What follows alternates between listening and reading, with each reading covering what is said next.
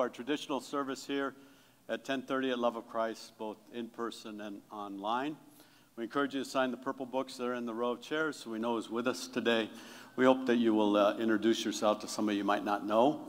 We're going to welcome uh, Sydney, uh, Sydney Carol Allman to First Communion uh, this morning, and her family is here, so we welcome them. Uh, Sydney's the granddaughter of members Lowell and Sally Allman, and so this is a special occasion. We uh, want to uh, continue to invite our folks that, uh, oh, and I ask that you come up during the Lamb of God. You're in charge, Sally, okay? Gift cards for family Christmases that we're doing with neighborhood schools are still being collected. Uh, you can turn in your 2024 financial commitment cards.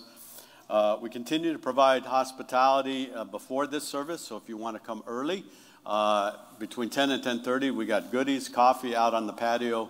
Um, and uh, today was a little interesting with the wind chill factor, but um, that, that is not a normal occurrence here.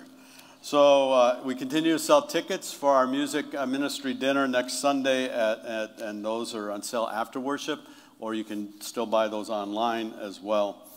And um, uh, we want to remind you next week, if you're interested in buying lefse, um, our campus ministry at ASU is selling lefse after the, the 9 o'clock service, so come, come before this service uh, and go next door and you can buy lefse.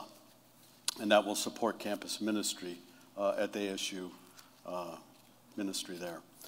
At this time, uh, as part of our emphasis on ELCA World Hunger, we're going to watch a video provided by uh, ELCA World Hunger.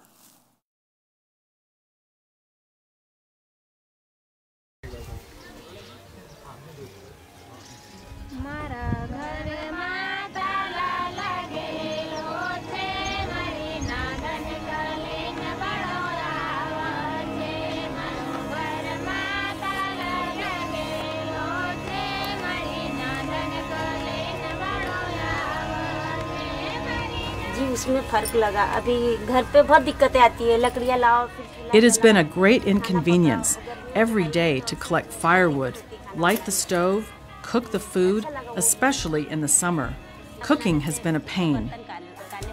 While cooking, when we blow the flame, we inhale the smoke. It goes in our throat, lungs, nose, and stings our eyes.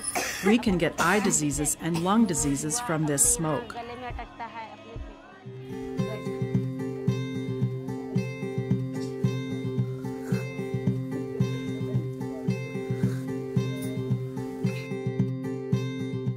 A traditional stove made from earth, bricks, and wood emits so much smoke that blackens pots and pans. When the Tripti Project staff talked about the smokeless stove, a couple of women started laughing. They couldn't believe it would work. I hadn't seen one myself, so I said, why not go and see what it is like? सबसे पहले तो मैं आपको ये बताना चाहूँगा कि जो हमारा The target area under the Tripti project is primarily a rural area. We've been explaining to people the advantages of biopellets, how they will save time that they otherwise spend on getting firewood, how the smokeless stove will prevent diseases, and how using biopellets and not firewood is better for the environment. हमें लाभ हुआ है जैसे कि हमारे घर में जो पहले हम गेहूं का भूसा we have benefited because earlier we used to burn chaff from wheat, soy, corn, and sorghum. Then the Tripti Project came and asked us not to burn this chaff. They bought it from us and gave it to the factories to make bio pellets.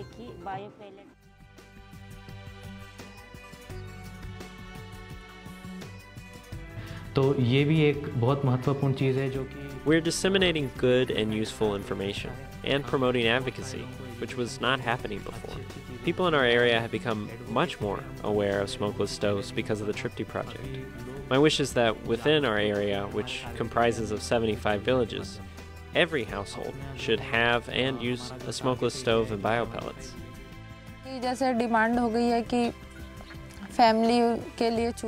Now the demand is there. Having seen a smokeless stove, people were very interested in it. They asked me when they could get one for their home, and how much it would cost, and where they could go to buy pellets. Once the system is set up, then the Tripti project will start to make sense to everyone.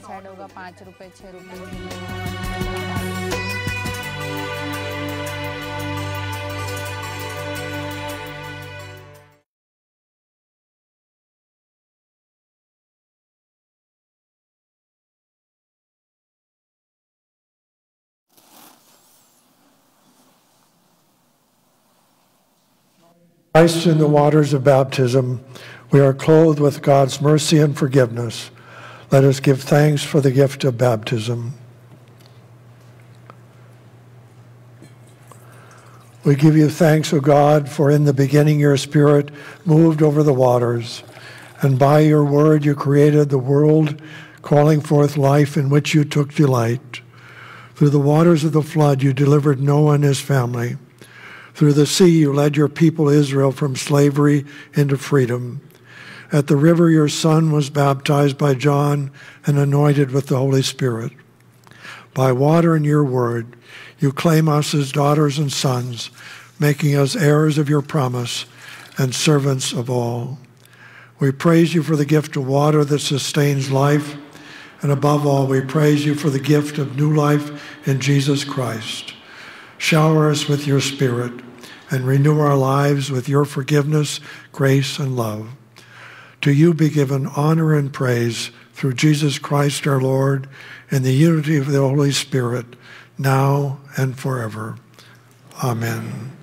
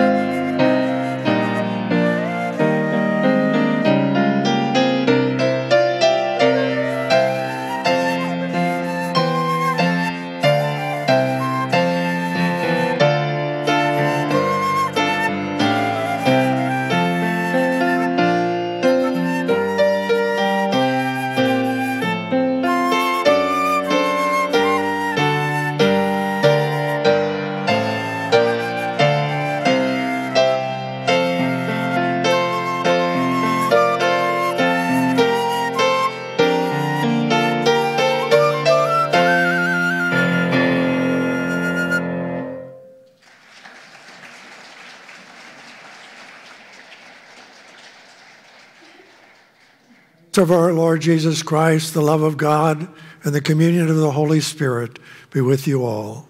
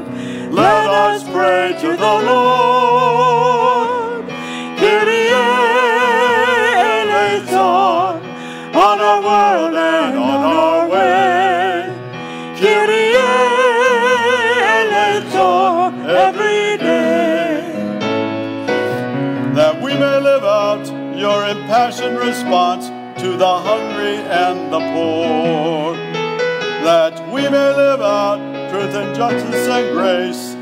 Let us pray to the Lord. Let us pray to the Lord. Kyrie.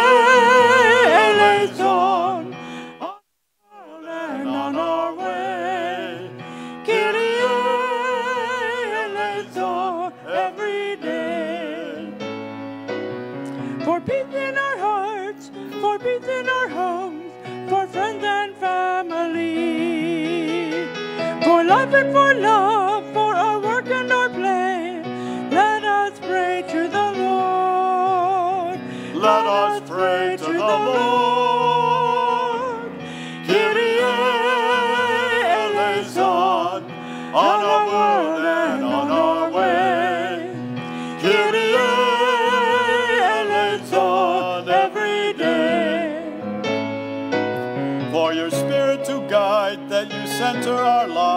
in the water and the word. That you nourish our souls with your body and blood. Let us pray to the Lord. Let us pray to the Lord. Kyrie eleison on our world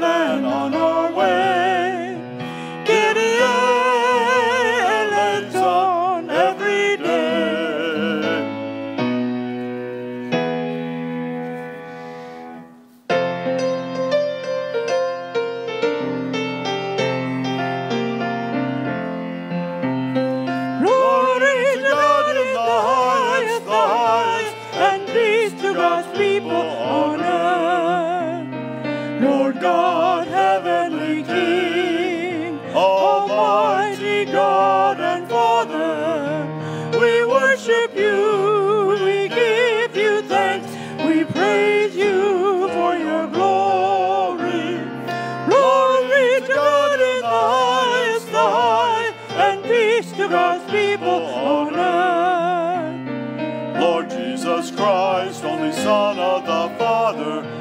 God, Lamb of God.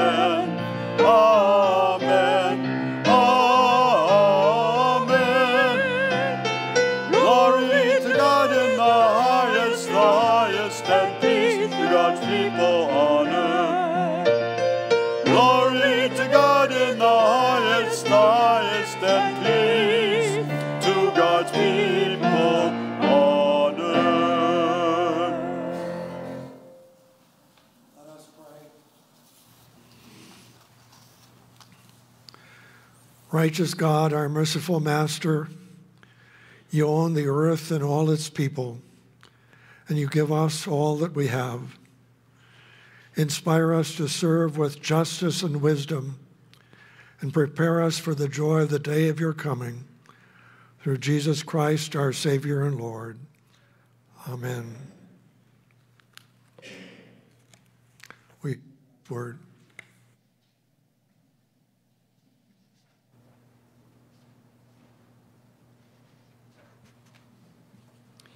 The first reading this morning is from Ezekiel chapter 34. Thus says the Lord God I myself will search for my sheep and will seek them out. As shepherds seek out their flocks when they are among their scattered sheep, so I will seek out my sheep. I will rescue them from all the places to which they have been scattered on a day of clouds and thick darkness. I will bring them out from the peoples and gather them from the countries, and will bring them into their own land. And I will feed them on the mountains of Israel.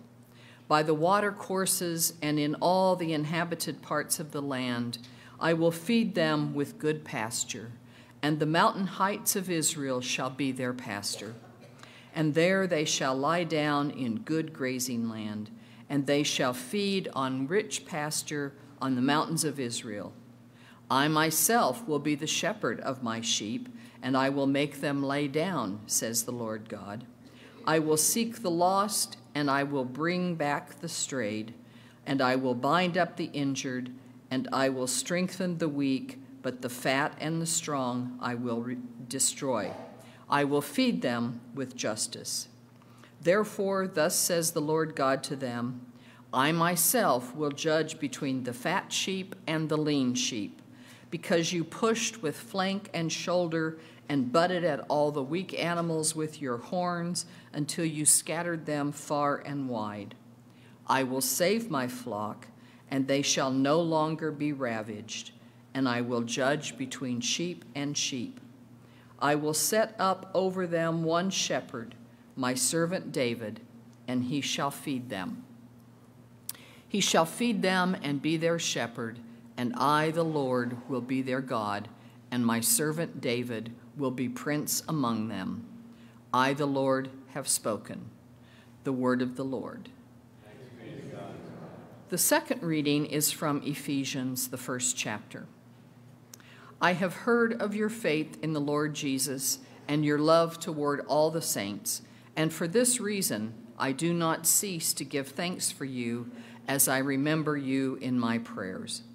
I pray that the God of our Lord Jesus Christ, the Father of glory, may give you a spirit of wisdom and revelation as you come to know him, so that with the eyes of your heart enlightened, you may know what, it, what is the hope to which he has called you, what are the riches of his glorious inheritance among the saints, and what is the immeasurable greatness of his power for us who believe, according to the working of his great power. God put his power to work in Christ when he raised him from the dead and seated him at his right hand in the heavenly places, far above all rule and authority and power and dominion, and above every name that is named, not only in this age, but also in the age to come. And he has put all things under his feet and has made him with the head over all things for the church, which is the body, the fullness of him who fills all in all. The word of the Lord. Thanks be to God.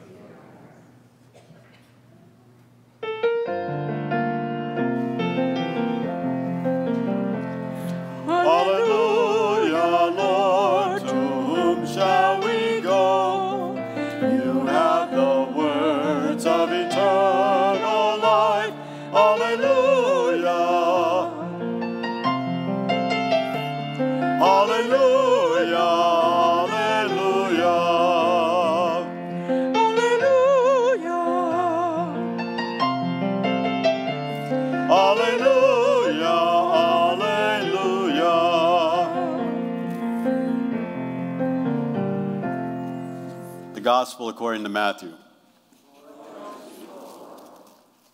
When the Son of Man comes in his glory and all the angels with him, then he will sit on the throne of his glory. All the nations will be gathered before him, and he'll separate people one from another, as a shepherd separates the sheep from the goats. And he'll put the sheep at his right hand and the goats at the left. Then the king will say to those at his right hand, Come, you that are blessed by my Father, inherit the kingdom prepared for you from the foundation of the world. For I was hungry, and you gave me food. I was thirsty, and you gave me something to drink. I was a stranger, and you welcomed me. I was naked, and you gave me clothing. I was sick, and you took care of me. I was in prison, and you visited me. Then the righteous will answer him Lord, when was it that we saw you hungry and gave you food, or thirsty and gave you something to drink? And when was it that we saw you a stranger and welcomed you, or naked and gave you clothing? And when was it that we saw you sick or in prison and visited you? And the king will answer them Truly I tell you, just as you did it to one of the least of these who are members of my family, you did it to me. Then he'll say to those at his left hand, You that are accursed, depart from me into the eternal fire prepared for the devil and his angels. For I was hungry, and you gave me no food. I was thirsty, and you gave me nothing to drink. I was a stranger, and you did not welcome me, naked, and you did not give me clothing, sick and in prison, and you did not visit me. Then they also will answer, Lord, when was it that we saw you hungry or thirsty or a stranger or naked or sick or in prison and did not take care of you? Then he will answer them Truly I tell you, just as you did not do it to one of the least of these, you did not do it to me. And these will go away into eternal punishment, but the righteous into eternal life. The gospel of the Lord.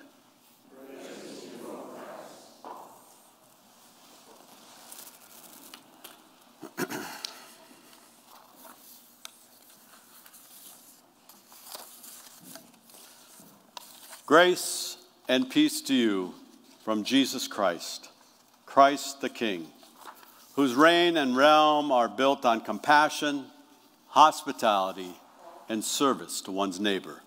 Amen. We see it on most Sundays in the fall. They wander in, they wander in this service and the other services wearing the colors of their favorite college football team or NFL team. Often, even wearing those colors when the only hope of their team's victory is a prayer. Sea vessels all bear colorful flags reflecting the country to which the ship is registered. And at our recent Reformation service on Sunday, Reformation Sunday, we invited many of you to wear red, and you did. Because red is the color of celebration and it is the color of the Holy Spirit moving and renewing the faith in the people of God to continue to reform and reshape the church according to the way of Jesus. If one knows anything about street gangs or motorcycle gangs, you know they all have colors to wear or symbols that they sew on to their clothing. And many even wear tattoos to signify what group they're affiliated with. The idiom to show one's colors is to reveal one's true nature, one's true feelings, or one's true motives. And to show one's true colors means that maybe you were hiding them before and now they're coming out. The phrase show one's true colors is derived from nautical jargon. The colors of the ship would be flown high at sea. But when there was conflict at sea, Many navies were known to take down their country's flag and not show the colors that they, who they belonged to, or they'd raise the flag of the enemy to act like they were part of the same team until they weren't. And then, after the battle, they'd raise the true colors to show who they pledged allegiance to. Today is Christ the King Sunday. It's the last Sunday of the church year, so you made it. Tomorrow is New Year's in the church. A day here in, in this church, it's a focus on the true colors of Christ. The true colors of Christ returning as King of the universe and pronouncing a word of judgment and separation, which I know is difficult to hear when you hear that reading. It was not until the 1970s that Lutheran congregations even adopted the Christ the King Sunday as part of their liturgical church calendar. But the feast of the Church of Christ the King was officially established by Pope Pius XI in 1925. And this came only seven years after the war that was going to end all wars, World War I, where it's estimated that 16 to 20 million people were killed with the greatest and best technology that war creates. The institution of the Feast of the Day was a way to address these countries that had engaged in conflict over land, fighting over who claimed what land and who wanted to retain what land. Pope Pius wanted the church to state her belief very loudly and very clearly that no earthly power, no one ruler has absolute power but Christ. Christ is Lord. He is King of kings and rules by the standard of justice and mercy. And as king, he does not rule as earthly powers rule. He rules with love, with service, and with a crown of thorns on his head. Today's feast states that every person, every government, and every earthly ruler will have to stand before him in judgment and be accountable to God's authority. Pope Pius XI was also deeply concerned about the rising tide of nationalism Nationalism being defined as identification that with one's own nation and support for its interests at the expense of all other nations. The observant of this day in the church across human made boundaries and the continents of this earth was to serve as a strong reminder. A strong reminder that the baptized in Christ belong to the King the king who has the authority and the king who has jurisdiction over all nations. And we dare be careful when we step into the role of determining who's worthy and who is not, who is acceptable and who is not, and what ideology, political, cultural, or religious position is the true and only one aligned with God. You may or may not be aware, but there's an increasing movement of nationalism around the globe and in this country. This has nothing to do with being a good citizen or a patriot who loves one's home country. This has nothing to do with affirming the blessing that we in America enjoy because of hard fought sacrifices and the continuing painful struggle to form a nation where all humans are created equal and have the right to life, liberty, and the pursuit of happiness. This has nothing to do with praising the values of democratic principles. Nationalism is a movement. It's a movement that puts one, one's country above all countries and in its most extreme forms history reveals it leads to endless armed conflict and countless deaths of not just soldiers engaged in battle. If we read the Bible, and it's bloody and it's messy, and there's a lot of wrong that was done by people in the name of God. If we read the Bible or study world history, we can know for sure human beings have a propensity. We have a propensity to want to draw lines, pick sides, claim what others possess, use power, influence, and wealth to protect self interests while developing technologies and weapons that can annihilate whoever we consider our enemy. This becomes particularly dangerous and we as Christians need to be aware how the name Christian is being hijacked. When nationalism is preceded by the word Christian nationalism. It becomes particularly dangerous when the cross of Jesus is blurred with the colors of a particular country or a group of people. Our lesson today indicates God's concern and working among and within all human made nations. Our gospel for this morning is a clear word of warning. A warning to any of us who are tempted to decide who's in and who's out, or thinking we know who knows God and who does not know God.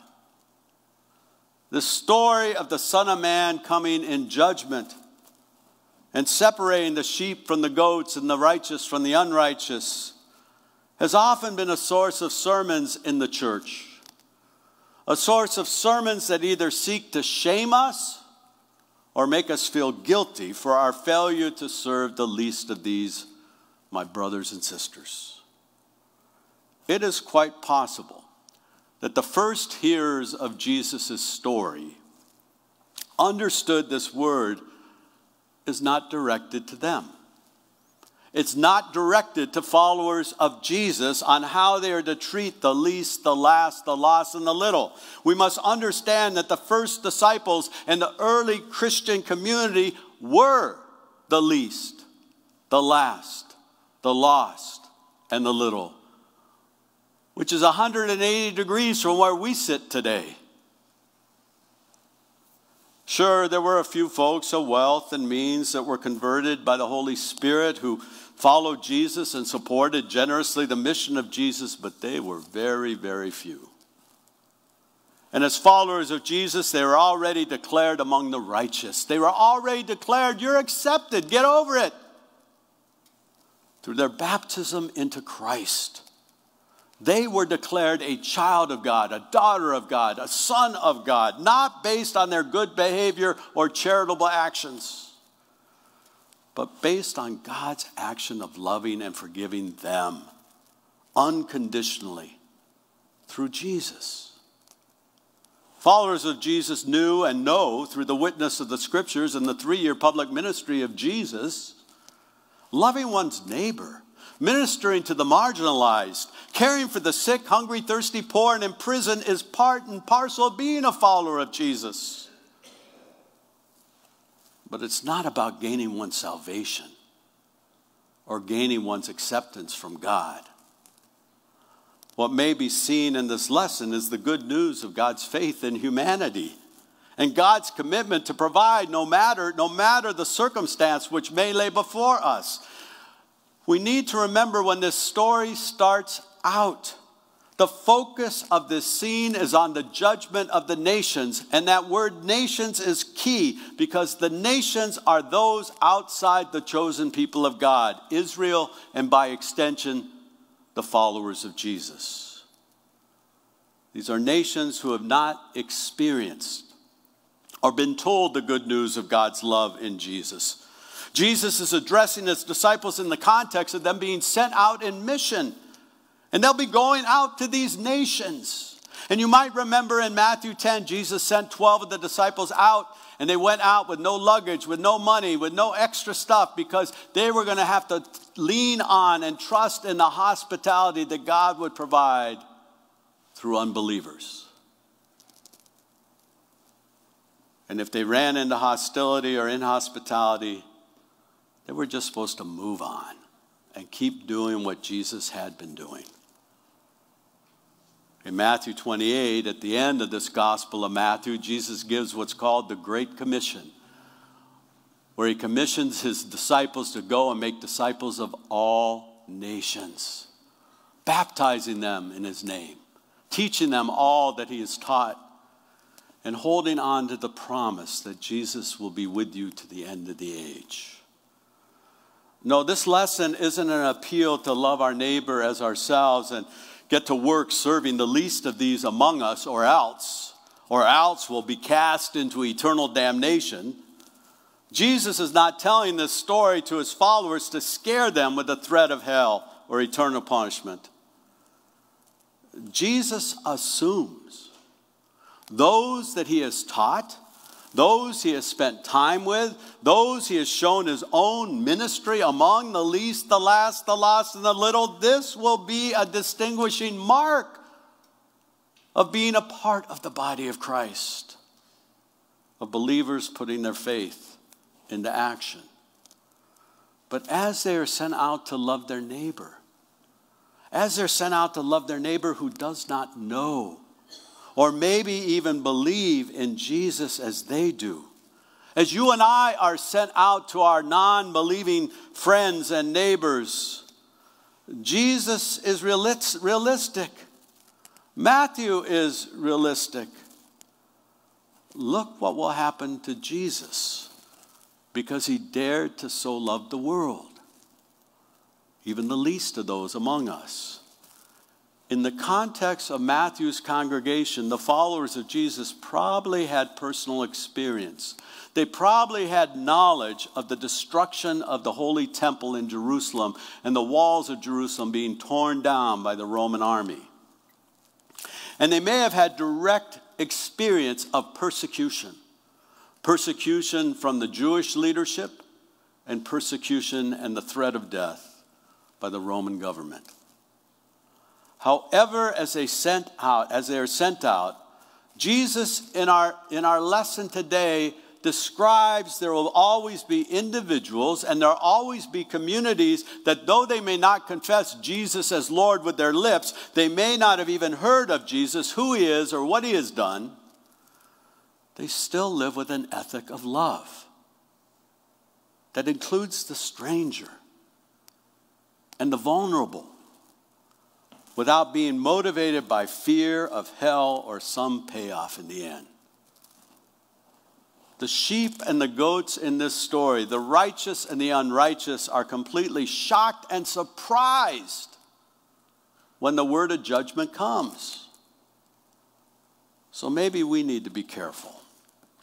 We need to be careful when it comes to judging who is righteous and unrighteous, saved or unsaved destined for heaven or destined for hell.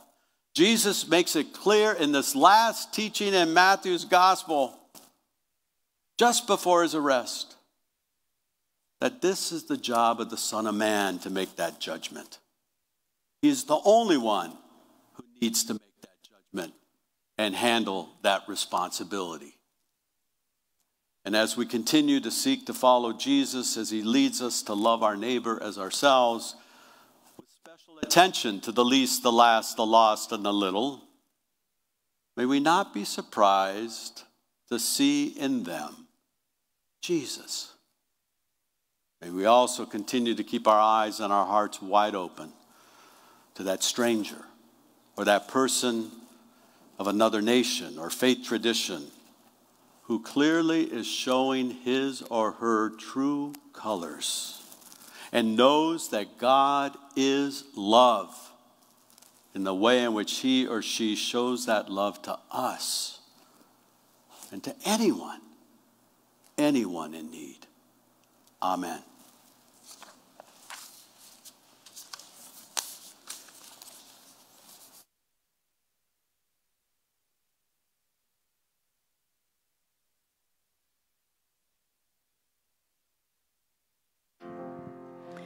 Saints of old their first fruits brought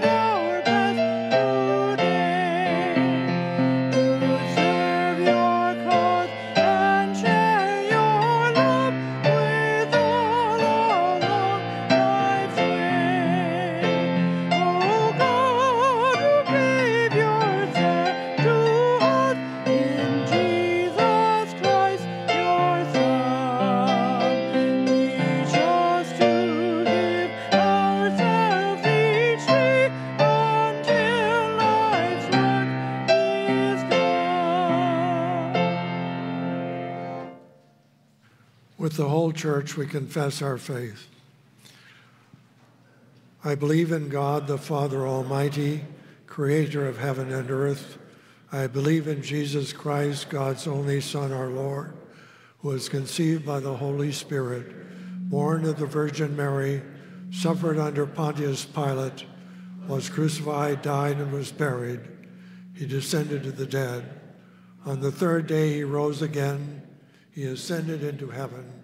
He is seated at the right hand of the Father, and he will come to judge the living and the dead. I believe in the Holy Spirit, the Holy Catholic Church, the communion of saints, the forgiveness of sins, the resurrection of the body, and the life everlasting. Amen.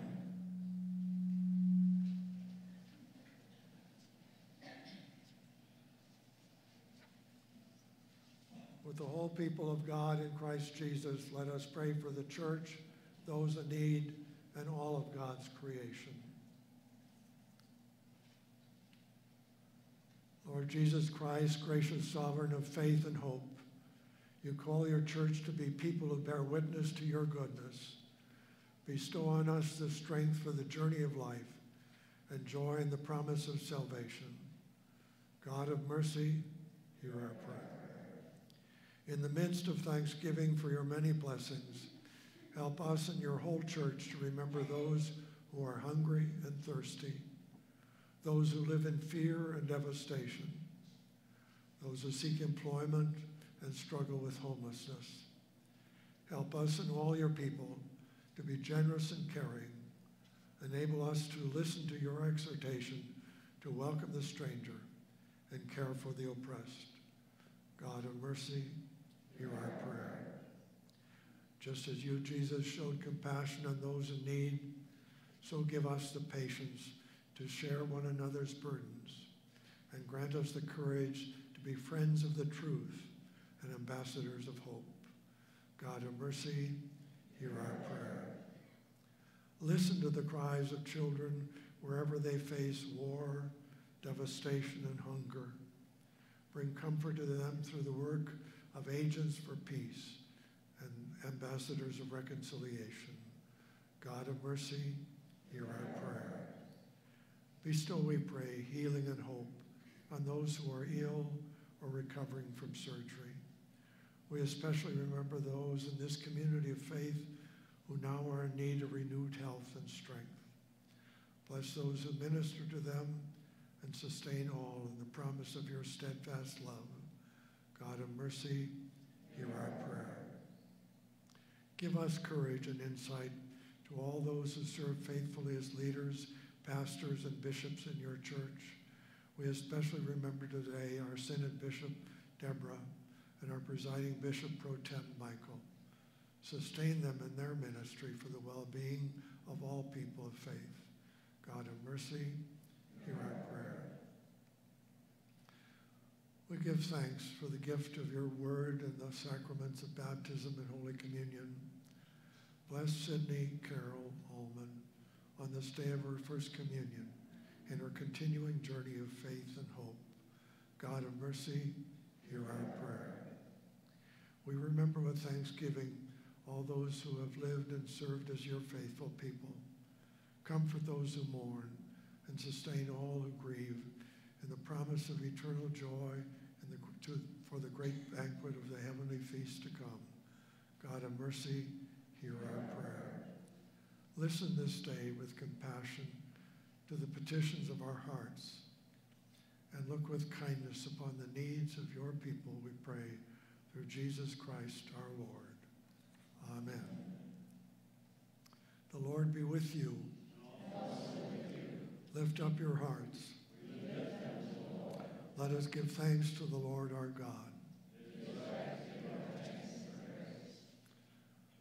For you anointed your only begotten Son, our Lord Jesus Christ, with the oil of gladness as eternal priest and king of all creation, so that by offering himself on the altar of the cross as a spotless sacrifice to bring us peace, he might accomplish the mysteries of human redemption and making all things subject to his rule, he might present to you, God of mercy, an eternal and universal kingdom, a kingdom of holiness and grace, a kingdom of justice, love, and peace.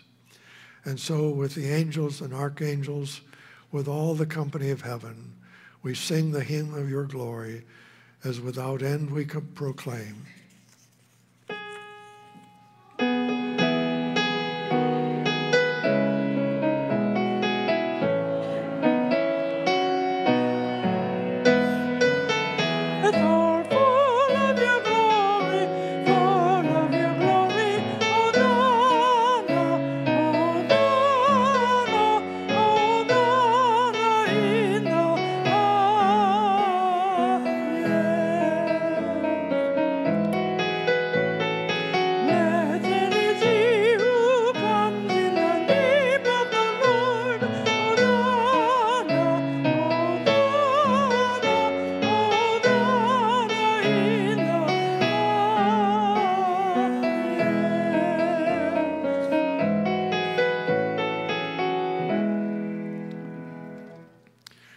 Indeed holy, almighty, and merciful God. You are most holy, and great is the majesty of your glory. You so loved the world that you gave your only Son, so that everyone who believes in him may not perish, but have eternal life.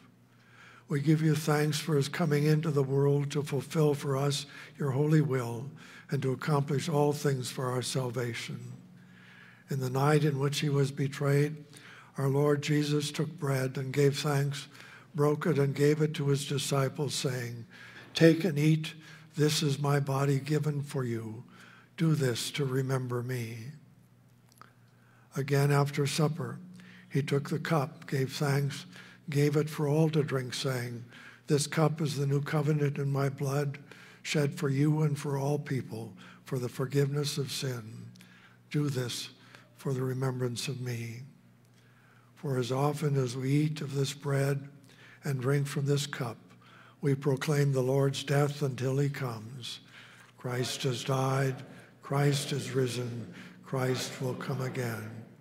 Remembering, therefore, his salutary command, his life giving passion and death, his glorious resurrection and ascension, and the promise of his coming again, we give you thanks, O Lord God Almighty, not as we ought, but as we are able we ask you mercifully to accept our praise and thanksgiving, and with your word and Holy Spirit to bless us, your servants, and these your own gifts of bread and wine, so that we and all who share in the body and blood of Christ may be filled with heavenly blessing and grace, and receiving the forgiveness of sin may be formed to live as your holy people and be given our inheritance with all your saints. To you, O God, Father, Son, and Holy Spirit, be all honor and glory in your holy church, now and forever. Amen. Gathered into one by the Holy Spirit, let us pray as Jesus taught us.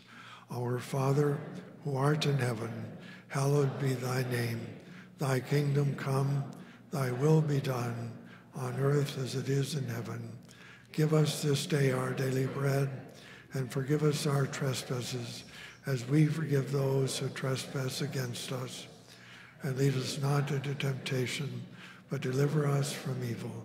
For thine is the kingdom, the power, and the glory, forever and ever. Amen.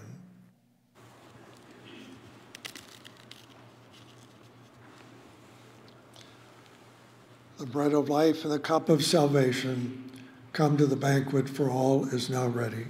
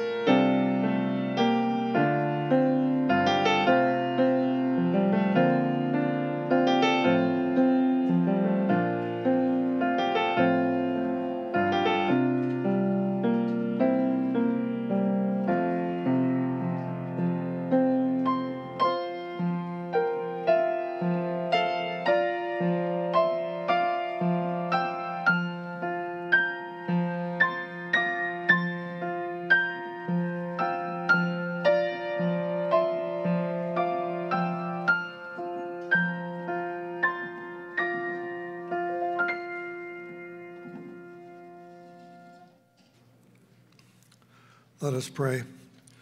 Gracious God, in this meal you have drawn us to your heart and nourished us at your table with food and drink, the body and blood of Christ. Now send us forth to be your people in the world and to proclaim your truth this day and evermore. Through Jesus Christ, our Savior and Lord. Amen. Almighty God, Father, Son, and Holy Spirit, bless you now and forever. Amen. Amen.